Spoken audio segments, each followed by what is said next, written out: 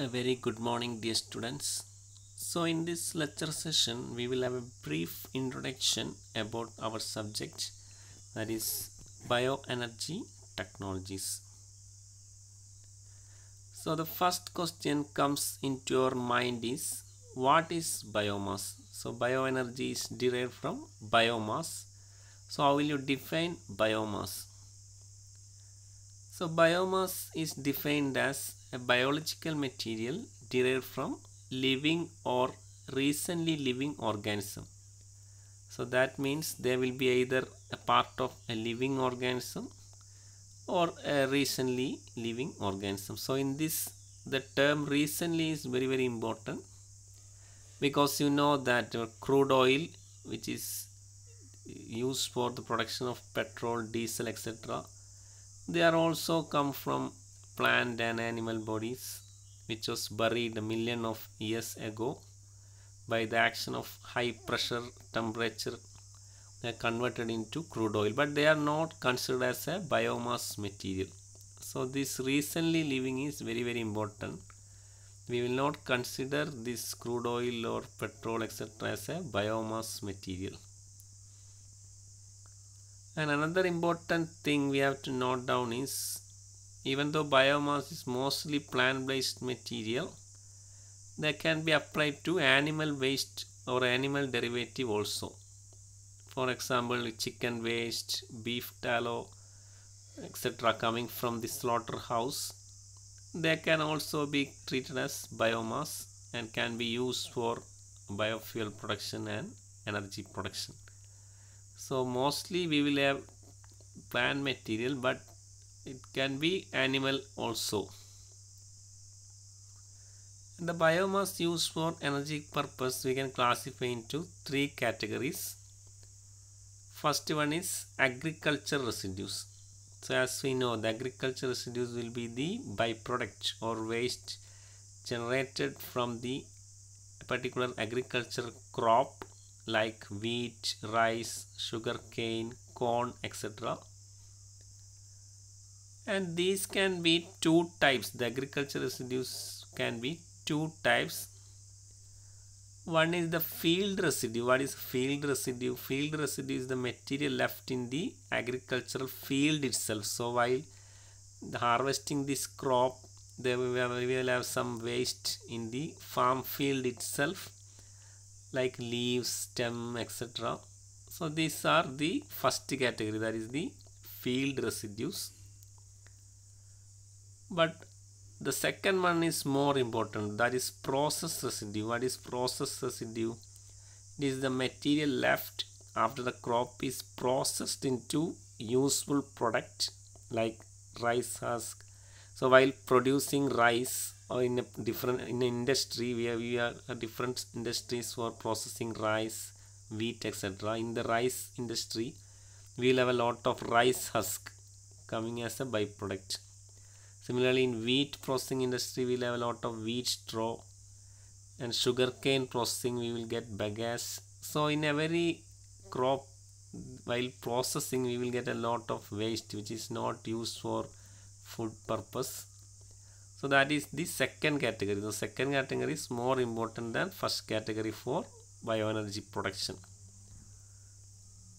And this important thing is these agriculture residues are produced in a cycle of few months to half a year. So we will get continuously this biomass in a period of few months or maybe a six month maximum depending upon the crop. and the second category is the plantation residue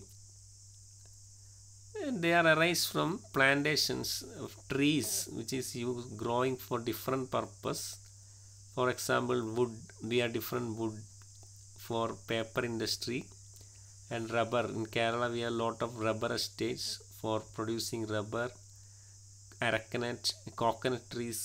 All these come under plantation residue. And in kerala's perspective this more than the first category that is agriculture residues were very very less because there is not much that of agricultural here but the second category is a predominant one that is plantation residues is more in Kerala. And why? Because this is the reason. Plantation trees require minimum input attention. That is, they does not require any continuous watering or uh, continuous pest control or continuous fertilization. They can be only once in a year we have to take care of them and they will produce these crops continuously. So that is why in Kerala we are more inclined towards these plantation residues. But the third category, that is if you are moving to cities or metros, the first two category will not be there. There will not be any agriculture residue. There will not be any plantation residue. But we will have this third category that is municipal solid waste mostly denoted by MSW. So MSW consists of every day-to-day items that is discarded by the public and they can be liquid as well as solid form. The waste will be in either liquid or solid form and liquid waste mainly coming from kitchen waste, food waste from hotel etc. They have a solid content very very less that is important thing. In MSW for food waste will have a solid content of less than 10 percentage. The remaining will be in liquid state. And other than this food waste and kitchen waste, we will have a garden waste, broken furnitures, a lot of plastic waste is also accumulated. Then used clothes, footwear, all these will be there in municipal solid waste.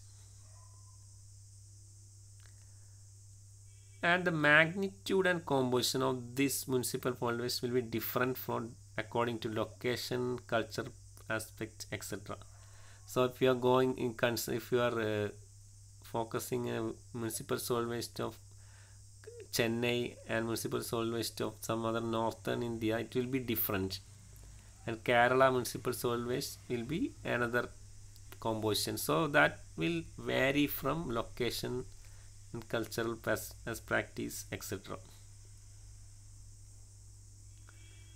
Now this is a composition of municipal solid waste. What is the recent composition? We can categorize these components into three categories. So municipal solid waste, we have three categories mainly. It will have biodegradable or compostable materials. So what is biodegradable foodstuffs, tree trimmings, all these are biodegradable. We can degrade or decompose it by the action of different bacteria or enzyme etc so all these are biodegradable. But then second category we have some recyclable materials. That is plastic paper glass metals etc so that is come under recyclable item. And finally we have inert item. This is very the inert items include mainly stones inorganic materials stones slit etc which is we cannot recycle or we cannot biodegrade it. So we in a you have to analyze the composition of municipal solid waste before going for energy production from municipal solid waste you have to understand how much percentage of biodegradable material is there in that municipal solid waste how much percentage of recyclables are there and inert material. So if the percentage of inert material is very high it is not suitable for energy production because it will have a lot of inorganic material stone sand etc so that is building constructions. All these are come under inert material. And this is a typical average percentage of these three categories. You can see the municipal solid waste in India. This is uh, done by energy authority of in energy alternative of India.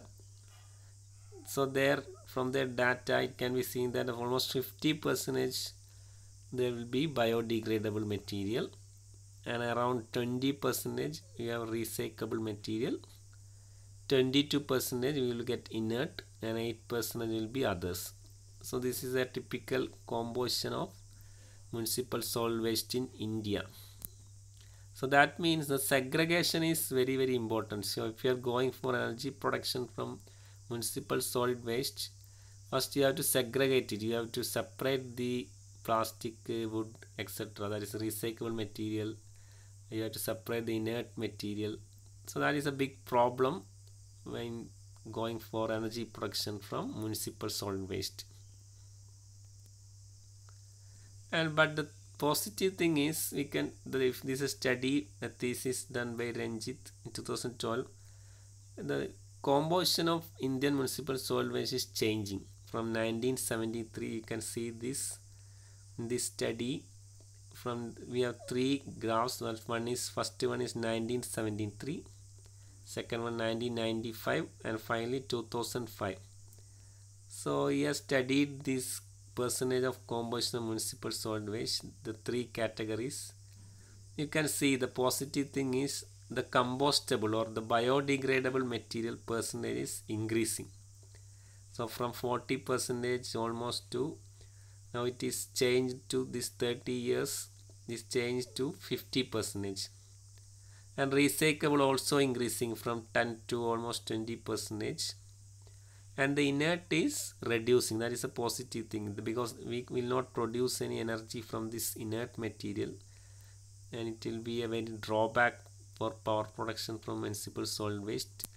So in the third graph you can see that the inert material is reducing from 50 percentage to around some 30 percent 20 percent reduction is there. So this is only data up to 2005 now it's 2021 so maybe in, it has further reduced in this while the, following the trend of this graph we can say we, maybe the inert material will be very very low in today's municipal solid waste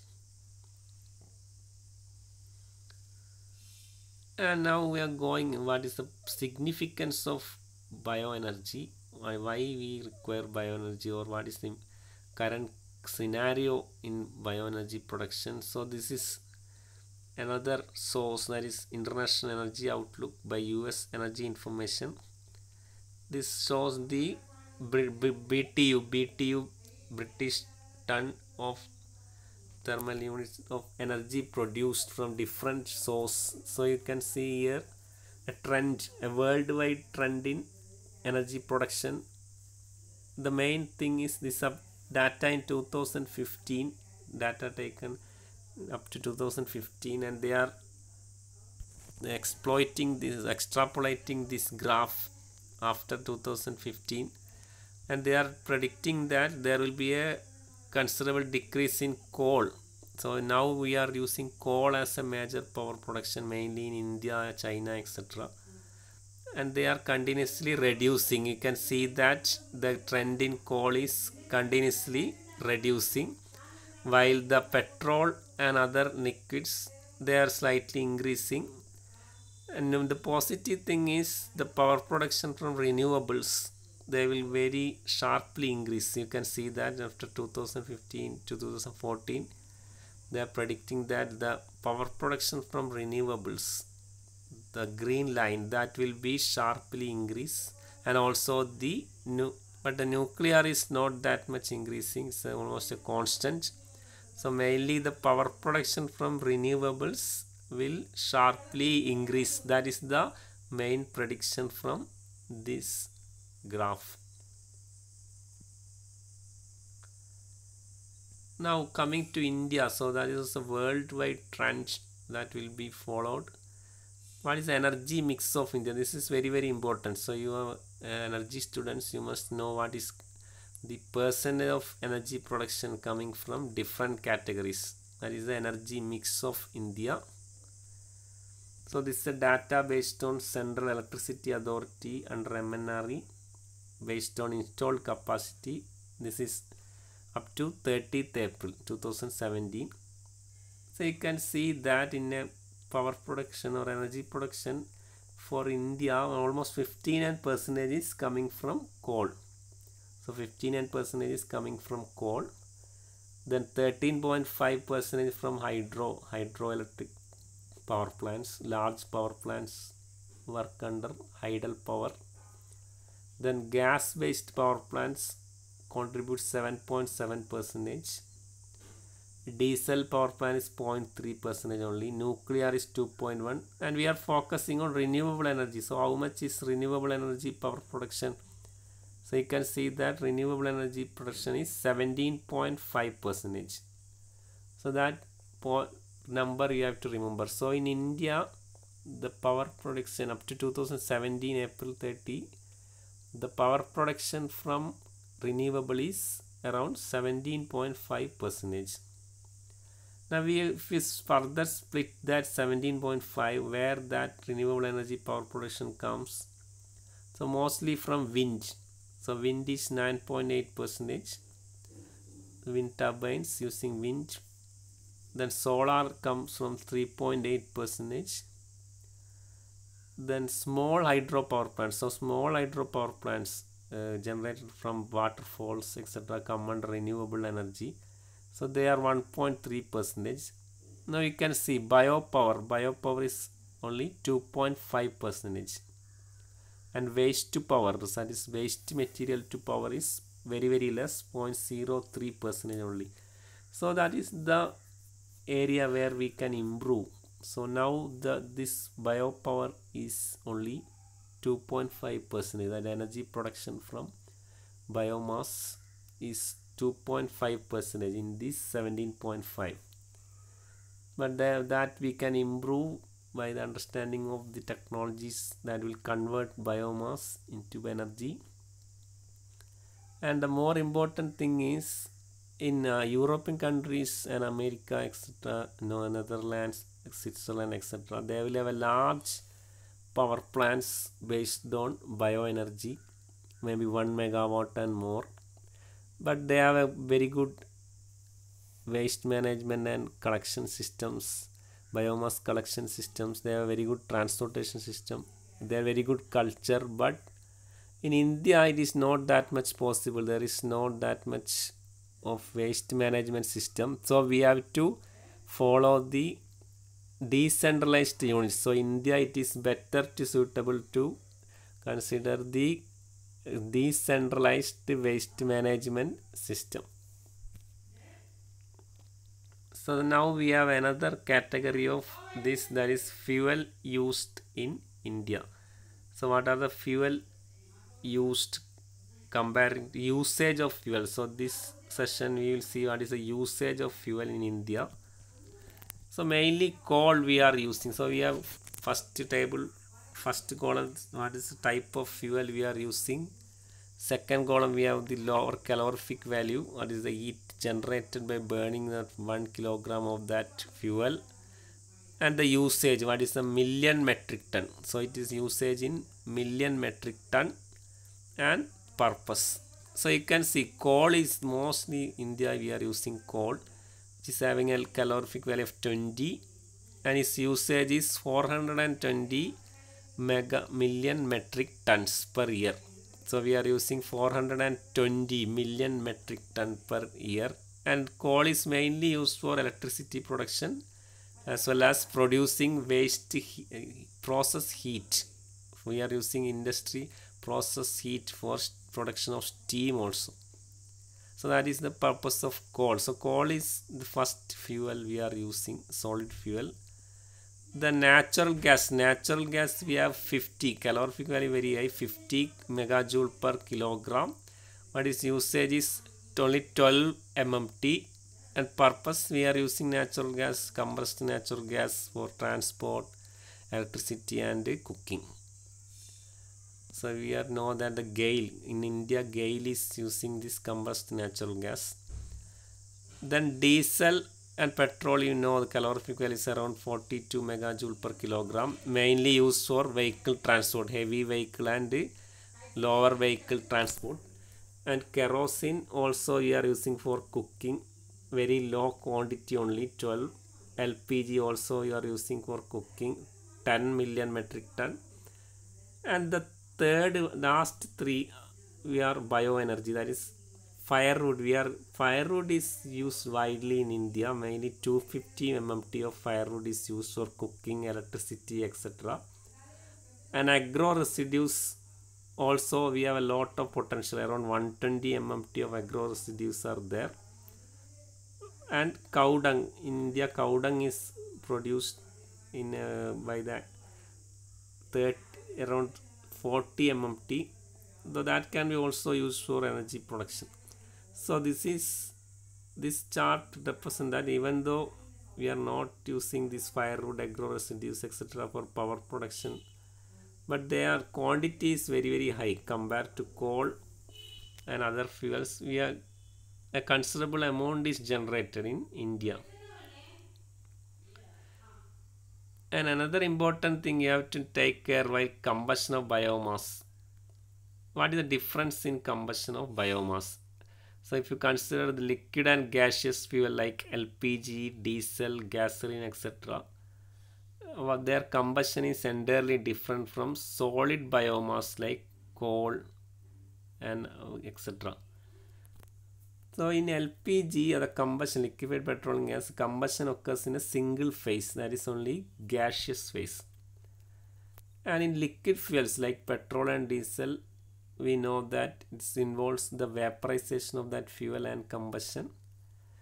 And in these two cases, there will be no residues. That is, if you burn a petrol or diesel or if you burn LPG, there will not be any residues left after the burning but the import in solid fuel it is not the case. Solid fuel combustion occurs in two stage. First this is very important. You have to understand the combustion mechanism in detail.